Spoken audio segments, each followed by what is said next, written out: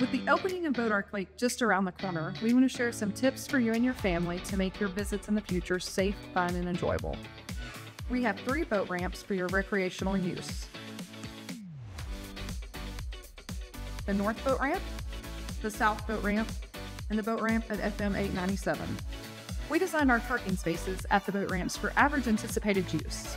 Each boat ramp has approximately 50 parking spaces. With the initial opening of Lake, we know that parking spaces make the up. Please be courteous to your fellow boaters. The latest status on our boat ramps is available on our website.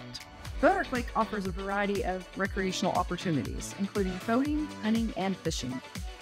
We've partnered with Texas Parks and Wildlife and the Fannin County Sheriff's Office to ensure public safety and manage recreation opportunities on the lake. Visit the Texas Parks and Wildlife website for the latest boater safety and hunting and fishing regulations. If you have a life threatening emergency while on the lake, please call or text 911.